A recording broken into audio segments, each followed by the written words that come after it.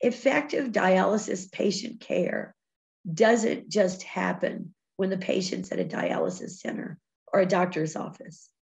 To provide personalized care and identify possible complications before they happen, we must have better insights on a patient's status outside the clinical setting.